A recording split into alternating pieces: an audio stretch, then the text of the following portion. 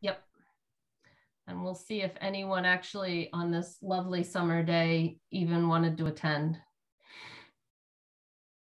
Oh, there is Rob.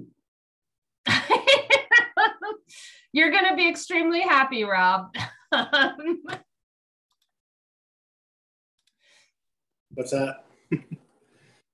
so you'll find out in about 30 seconds, which is um, now that we have the attendees in. Um, it is July 14th, 2022 at 4.31 p.m. And as anyone watching this video can see, there is not a quorum of the Community Resources Committee.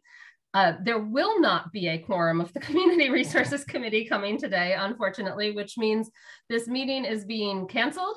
Um, and whatever, well, the action item or discussion, the action item on the agenda regarding rental registration bylaw and inspe inspection bylaw language will be moved to the next agenda. The other two items um, will be moot by that agenda, well, moved to the next regular meeting agenda. Those other two items will partially be moot by then because we will have already held our community forum on July 25th, 2022. So with that announcement, um, since the meeting is canceled and I cannot call it to order, I thank everyone for coming today.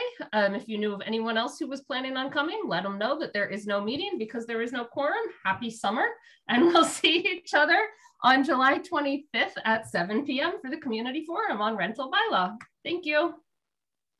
Bye. Bye all. Everyone.